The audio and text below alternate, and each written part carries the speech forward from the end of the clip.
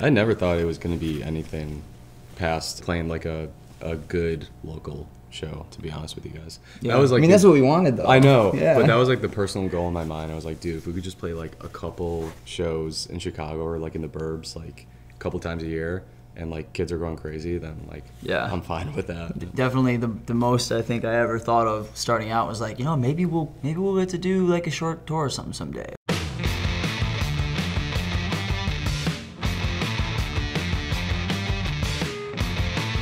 We're Knuckle Puck, and this is the oral history of Knuckle Puck. So it all starts back in senior year of high school. I was in a band, and then we broke up, and I needed people to jam with. And so I hit him up on Facebook. And We had uh, a mutual friend had put us in contact, and he knew both of us were looking to start a band, and I think he told you I was looking for someone to jam with, and then you messaged me. and you were like, I don't know this kid. yeah, we had met once, but I didn't really remember meeting him. So I got a ad on Facebook, and I was like, oh, we have mutual friends, okay? Like, and then he's messaged me and be like, yo, I heard you want to jam, and I'm like, okay. And then I was like, I guess I'm not gonna start a band if I don't just jam with people that want to jam. So then I was like, come over Wednesday, and Yeah, so then it was just me and you. I was playing guitar, he was playing drums, obviously. We were just like covering songs. And then we hit Kevin up. I was at school, and then the three of us jammed together when I was home for Thanksgiving break. I was 18. I don't know how old you guys were, 17 maybe. yeah. And that was like November 2010. And then we tricked you into being in the band. Well, I thought I couldn't do it because I was in school. I didn't have a car, so I didn't know how to navigate it. So I was like, yeah, I don't know. Like, we'll see. And then I remember you saying to me, um, "Yeah, I've been jamming with these uh, with a couple kids, and uh, kids. uh, yeah, like I I was didn't. the. Yeah, we're grown adults now. I, I was I was visiting Kevin at school, and he said, "I've been jamming with uh, these uh, these two kids, but uh, I'm away at school. So uh, is it cool if I tell them to hit you up since you're in the area?" And I was like, "Yeah, sure. Uh, why not?" And I was I was just working at the time, so It was really hard to get together with you specifically. I feel like we got Kevin before we like locked you down. Dude, we were playing Newfound, Wonder Years songs. title fight, movie Title- life. Yeah, dude. Transit. The first time I jammed with you guys, you had already written Stuck. Like Yeah, we we, had we were playing Stuck. It was like the first Yeah. song that like wasn't a cover that we were playing. Mm-hmm. I thought it was awesome. I was like, man, like this is this is the kind of this is what I want to be involved in, you know? Like all the Yeah, songs was- were like fast too. Like we all wanted them to have like upbeats, and John was the only drummer we knew that could like properly play an upbeat at the time. I remember being blown away that John was playing upbeat. I was like, he's playing so fast. me and John were just playing. I was playing guitar and stuff, and and we had like worked on Stuck a little bit, and then we had another song that was like the same kind of thing. Kevin came back for uh, what was that Thanksgiving break, and we were just like playing like title fight songs or whatever. And I was like, oh yeah, we also wrote this one song. Check out like play the leads or whatever. And then that was like the beginning of the trick. Yeah. Yeah. So then we were like, yeah, play these leads. Uh, I don't know. It was cool. It was cool to like have him like play the second guitar part and like hear. I don't know what That- we yeah, kind of that been was working on. really Dual cool, yeah. Yeah, and then and then dude, even having you come out and like, yeah, it was fucking cool. Man. Yeah, that was my first time playing in a band. Well, like with original music with two guitars. So I remember like Oh, yeah. playing rhythm and Kevin playing lead, being like, "Whoa, it sounds so good. It sounds cool." Yeah, mid 2012, right? Was when we were like, let's go in the studio and like actually record like our three best songs. Yeah, we like I don't know. We, we recorded a demo in Nick's mom's kitchen, ish. At least that's where I recorded the drums at. And, like put that out, and you know a lot of the shows we'd play at that time were just kind of like us playing to our group of friends, and like that was really it. And then I remember, yeah, probably around like mid 2012 ish, we played a show, and there were like a good amount of people, you know, at the time like that like we didn't know that knew the words to our songs. And we were like, damn, like what? Yeah. And so then we were like, maybe we should go and record somewhere for real and see what happens. We almost didn't though. Yeah, We almost didn't. because we were all busy, like school, work, other bands, like this and that. Yeah, Nick had a full time job. Lack of funds. You were in school full time. Yeah. like that particular show where strangers were singing along was like kind of like, oh, maybe we should try, and then we did, and Don't Come Home was kind of like our. At the time, I feel like it was like our last shot. like we were like, all right, let's, cause, it- cause it was kind of expensive to go in the studio and like record those songs for real. Yeah. And yeah, we were just kind of like, we'll just kind of see how this goes. I thought after Weight You Buried came out, and that seemed to garner like a lot, relatively a lot more attention Yeah. and hype, I guess. More strangers started putting stock into the band than just like people we knew and our friends and our social circles, I guess. Well, that was when when our manager hit us up too. Exactly, yeah. Was right when we I think we streamed the first song for the weight that you buried. Yeah.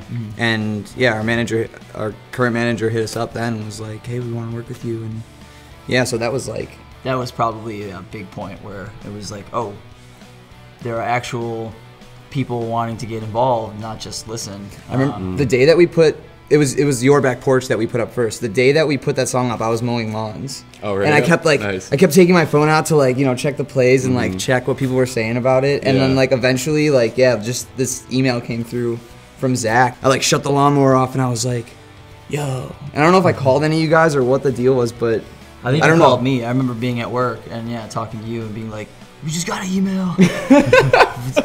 He wants to manage us." And I'd be like, "Say yes." I feel like there was a lot of like built up within us as like a group. Cause like I said, like you were working full time, I was mowing lawns, he was at school. What were you doing? You were working at McDonald's. and- You were in school too. You were Yeah, you I were mean, in school. I, was, yeah. I was like kind of school, kind of work, kind of had another band, like just kind of juggling a bunch of different interests. yeah, so I feel like there was there was something like built up between and like inside all of us, and I don't know. We just like wanted to be out of the situations that we were in.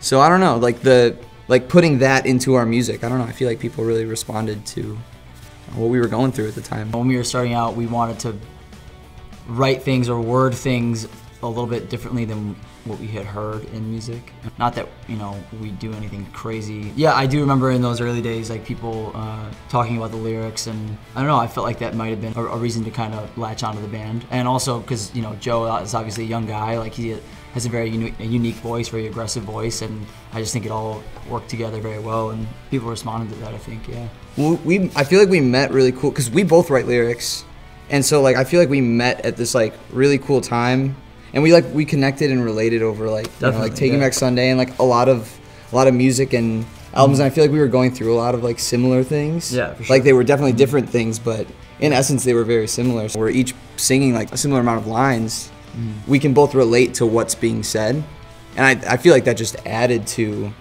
the emotion and you know Yeah. everything else that went into writing the words and like you know the, the recordings and live and everything like that I think we really tried to like step outside the box, like with um, while i stay secluded right Yeah, yeah. Those were the first songs where like we maybe had a song or two that didn't have an upbeat or that uh, that you know had harmonies or had like a like a softer sung part. Uh, Time signature. yeah, different time signatures. So I feel like we really that's like when we really were like trying to push the walls out and sort of yeah get out of the box. because the first release don't come home was like you know three bangers like three really good songs like quick fast energetic Mm-hmm. and then weight you buried was like kind of the same thing and then yeah while i stay secluded we were able to like push the walls out and it's funny because like a lot of people are like oh yeah all these eps beforehand but i feel like that was essentially like a full length like Yeah. all of those songs was like if as if we had written our first full length Yeah. Yeah. over what two and a half three years If we had whatever written a full length too before the release of you know several EPs, I really don't think it would have been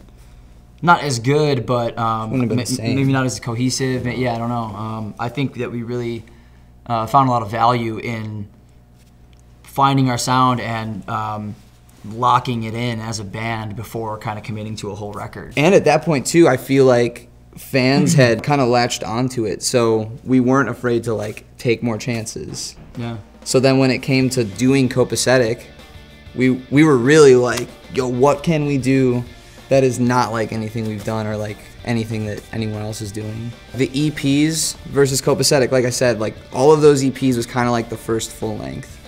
And with that, we were more focused on like, you know, these these fast, like punchy, um, like really in your face, like live songs.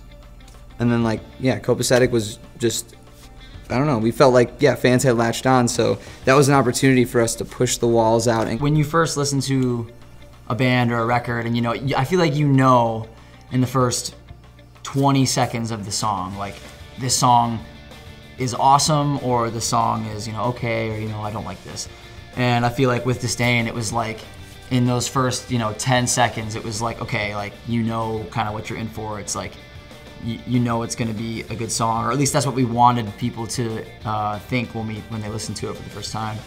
And I remember showing people that song on Warped Tour before it was out, like being at our merch tent, like with an iPod and headphones, and asking kids, you know, you want to listen to a new song? that. It's not out yet. It's not out yet.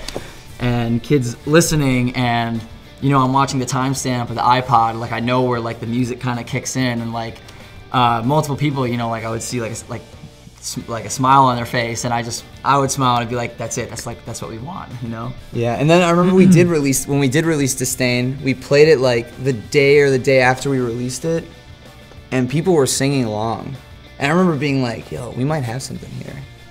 I think the reaction to Copacetic was way more than we anticipated. Yeah, definitely. I don't even know if I don't even know what I anticipated. It just kind of was like psyched to release an album, like in general. Yeah. And then yeah, people liked it, and it was sick. Yeah, I feel like that's that's like the kind of like the whole uh, like the story the whole time with our band is like we're just kind of like doing this for fun and it's crazy that other people are getting value out of it. Like mm. let's just keep going. I, I remember when we were writing Copacetic, I had the because dude, we had never written like a full album at once. It was just like all spread out.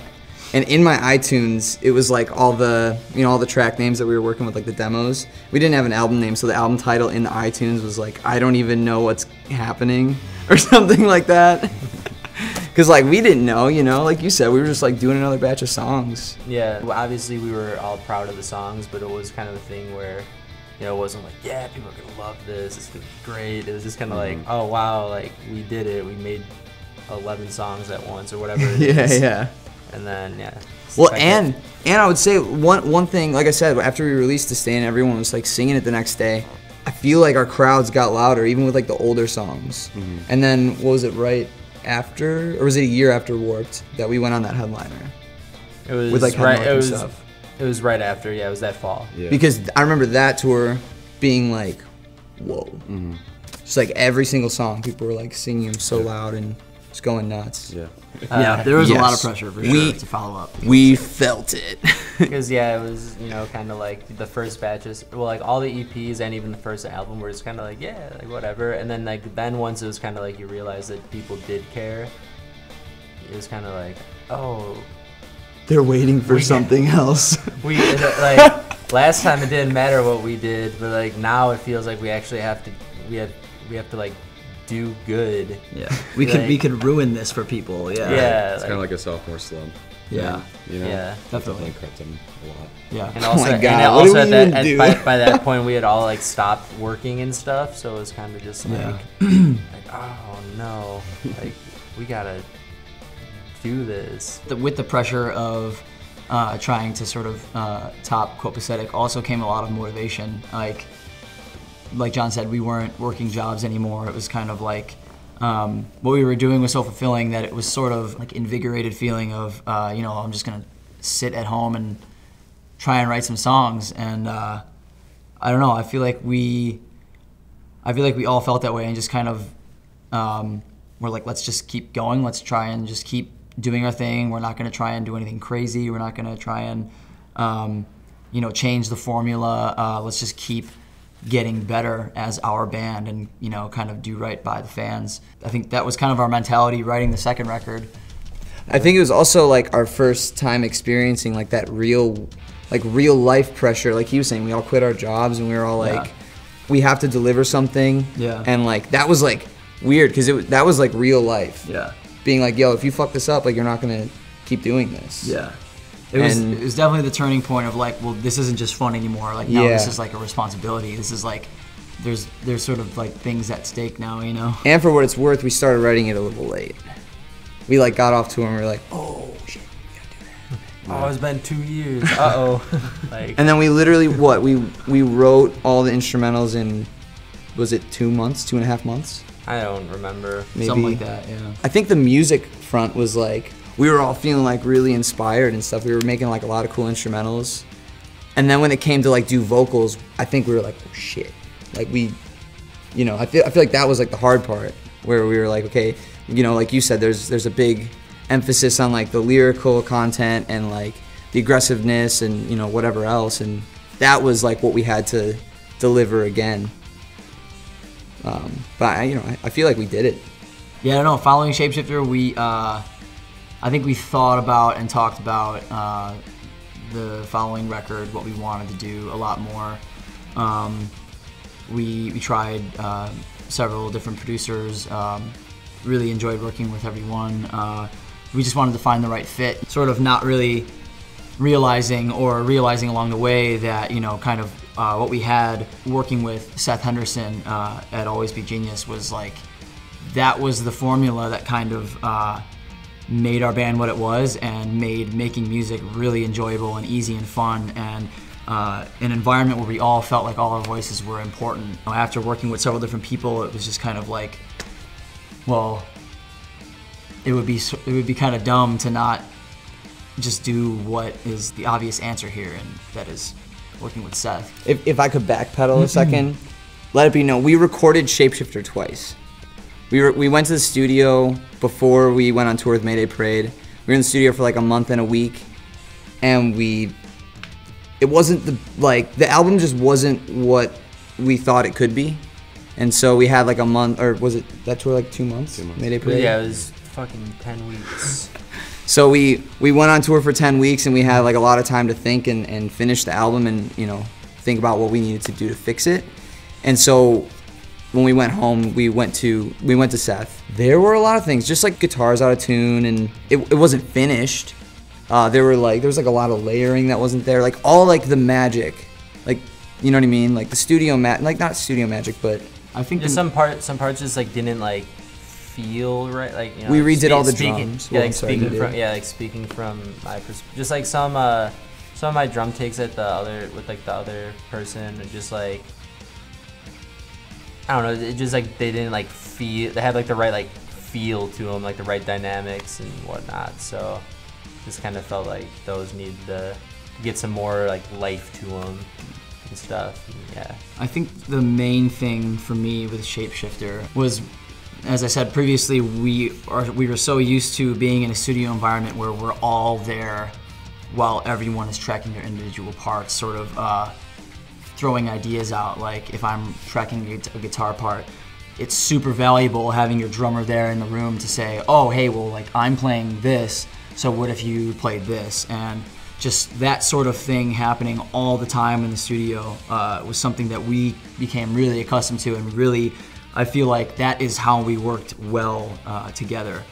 And with the second record, uh, it like individually we were very uh, isolated from one another, so it it just didn't have the same feeling. I think uh, most of all for me at least. Like I said, I really missed sort of uh, everybody being there in the room, being psyched on it. You know, like gassing you up when you got a good take, throwing ideas out there, ways to make your part better, um, and even just like talking about things, hanging out, keeping it stress free. I feel like that is like the reason why we make music because of uh, that dynamic. And when you remove that, it sort of uh, changes the whole uh, like the whole approach. Yeah, so when when we did go back into the studio with Seth, I feel like would you say that that vibe was like Yeah, yeah back we, again? Yeah, like we I feel like we were all invigorated and ready to you know to get this done and kind of do it in a way that we were all happy with. LP3 started with us taking a step back.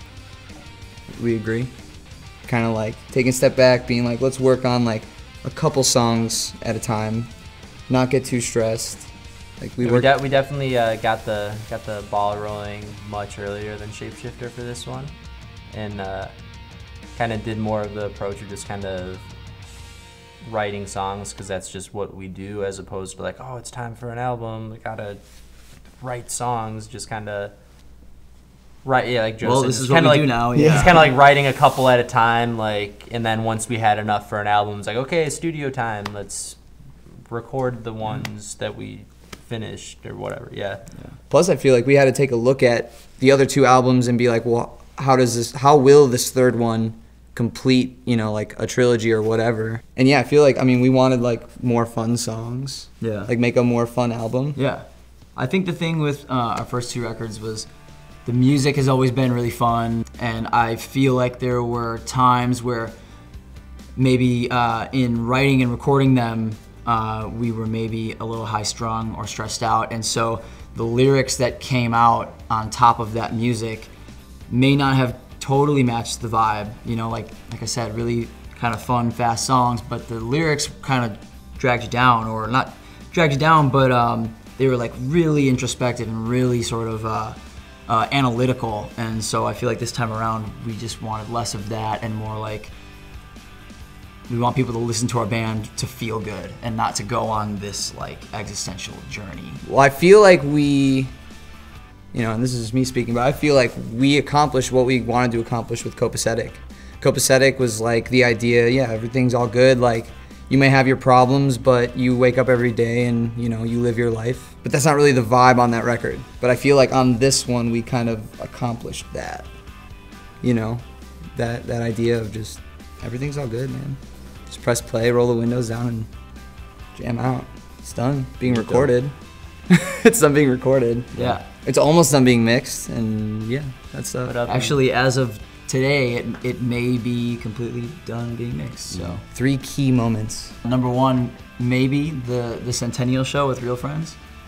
where we the played first, Oak Street. The first cent- well, I guess second Centennial Show with Real Friends. We're at, you know, we had a really good response, and at that point, it, w- I feel like we were like, you know, is this even worth keeping going? It's been fun, but like, do we want to keep going? And we played that show, and it was like, whoa, like, okay, we'd be stupid not to keep Oh, going. that's- yeah, So that- you that's, talking about- Yeah, that's that's, what what, you're that's talking what I was talking about. Like, Yeah, the, fir- yeah, the first time where like people we didn't know were singing Yeah. along. Yeah, Yeah. that- So that's one's- probably number one. Yeah, Number that one, one for yeah. sure. Sure. Probably putting out "Weight That You Buried" and yeah, like Yeah. definitely. Three, Six maybe going on our first tour, because that you know it it was it was fun. It was uh, successful as it as it can be at, at that point in your band. I would also say uh, the Metro show we played last June with Citizen. That was really cool because it was sold out and we grew up going to shows there. The greatest risk from my perspective is getting everyone to like kind of join, just you know, just like getting it all together and I don't know, like John said, like quitting jobs and just kind of like giving it all up to do this. Quitting a decent paying job with benefits is for sure. Like to go on tour is. Oh my god, I for was so scared. Uh, I was like, don't hate me. a risk. Um, definitely, yeah. It paid off though. I think it paid off. Yeah. Way better than we a lot, intended. a lot better. Way yeah, better. much better. I think just like building something with your friends that feels genuine and not really expecting anything to be given back to you, I suppose. Because I think the all of us have not actually expected anything to come out of any of this. So, very grateful to just be with my friends most of the year and do something productive and fun and artistic. I'm gonna cry, man. I'm gonna cry. Yeah, that's very, very well, very well And we're said. breaking up. Hate to. Hate to New album out tomorrow. We're never playing it. There's just like so much out there, like there's just like so many lessons to be learned, just like in life in general. You know, doing what we do, you know, you get to see a lot of places, meet a lot of people, see how different cultures work, and like you know, pull things from different walks of life that you come across, and just yeah, like you know, there like yeah, like life is just crazy and beautiful, and there's just like so it's so vast and just like dip your toes in. Like, Yeah. Get it, get out there, you know. Like. And if I could piggyback on that, like, it's also too short to be doing anything but what you want to be doing, and it's easier said than done for a lot of people. But if you could, if you love to do something and you can find a way to do it, um, you know, uh, I think it's important to to do that. And if you got a shot at uh, pursuing something you want to do, like it's, you know, why would you not take that shot? You know, you can always um, sort of. Um, get back up on your feet and find something else to do. But I feel like anyone um, will live a more fulfilling life if they're doing something that they want to be doing. It doesn't have to be music. It doesn't have to Yeah. be. It doesn't have to be anything glamorous or anything like artistic. Like if you enjoy folding shirts, you know, like don't get a job as you know a janitor. Like if you enjoy um, fixing things, don't get an office job. You know, like just pursue something that you really like to do. And uh, to piggyback off that, yeah, just don't don't wait to do those things because I mean, you know, you could stare at the clock and watch you know watch it go around and around. I don't know, time, dude, time moves so fast. So yeah, do you know do what you want to do and get out there and I don't know, talk to people, make experiences. You know, I think I feel like a lot of things are more than what they seem on the surface, and I feel like people are, are too quick to judge and be like, yeah, I'm not about that or I'm not about this, but like, what are you about? You know? We just put out a single called Tune You Out. It's off the new record. There is more to come, and we hope that when people hear it, they blast it driving around with their windows down in the springtime and are feeling good about life. And that's really all there is to it.